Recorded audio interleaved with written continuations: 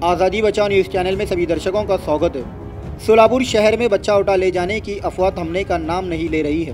बीते मंगलवार 4 अक्टूबर 2022 की रात 9 बजे के आसपास नई ज़िंदगी रीगल होटल के पीछे रहने वाले समत पटेल नामी व्यक्ति के घर में एक अनजान महिला उनके दो महीने के अदनान नामी बच्चे को उठा ले जा रही थी तभी माँ ज़ोर ज़ोर से चीख उठी। उसी समय अनजान महिला ने दो महीने के मासूम अदनान को पानी से भरे हाउस में फेंक कर भाग गई।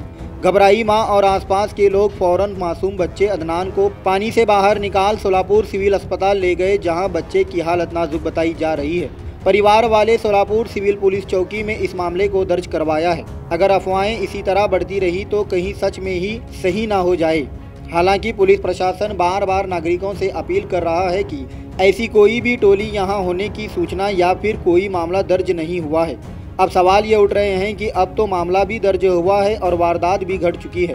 पुलिस प्रशासन इस मामले को संज्ञान में लेकर नागरिकों के मन में उठ रहे सवाल और ये वारदात को अंजाम देने में नाकाम रही महिला को तुरंत पकड़कर पर्दाफाश करें।